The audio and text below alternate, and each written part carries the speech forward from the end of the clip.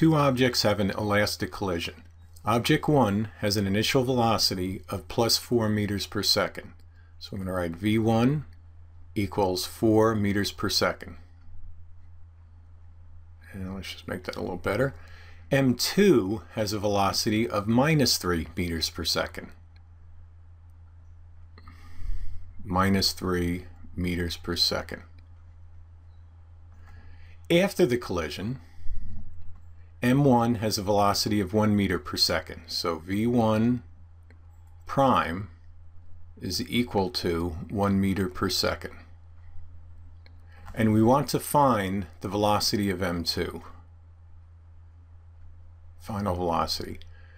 Notice, no masses are given, nor are they needed, because when you have an elastic collision, the relative velocity of the objects before the collision right here is equal to the negative of the relative velocity afterwards.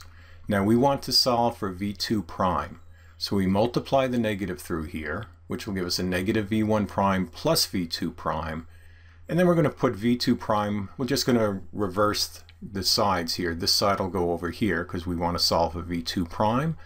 We subtract away v1 prime, which actually makes it a positive on the other side.